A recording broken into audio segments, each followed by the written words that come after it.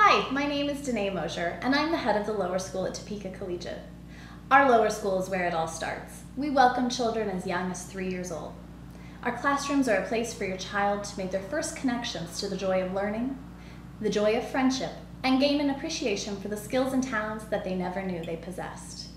We allow children to be children. We know that children learn best through doing and playing. Our curriculum is rich with hands-on activities and experiences. We appreciate children for who they are and where they are developmentally. We have an experienced faculty who push and stretch children while giving them the love and security that they need to reach beyond what they know. Our faculty is committed to our school and to our students. When you leave your child in a Topeka Collegiate classroom, you're not just dropping them off at school. You're giving them a larger family, a sense of community, and the opportunity to grow to their fullest potential.